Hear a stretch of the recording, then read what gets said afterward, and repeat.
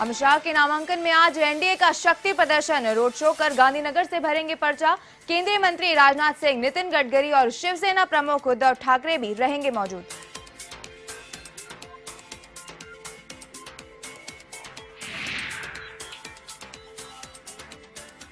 हार्दिक पटेल के लोकसभा चुनाव लड़ने की उम्मीदों पर फिरा पानी। हाईकोर्ट ने की सजा निलंबन की याचिका खारिज। 4 अप्रैल को नामांकन की आखिरी तारीख।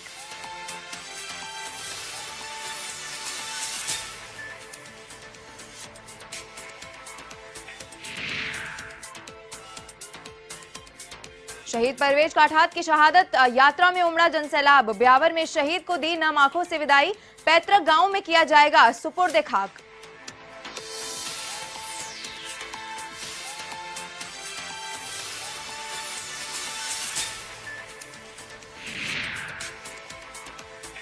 बारा के शाहबाद में दो मासूम बच्चियों की मौत। नहाते समय नदी में डूबने से हुई मौत। हादसे से गाँव खटका में कोहराम।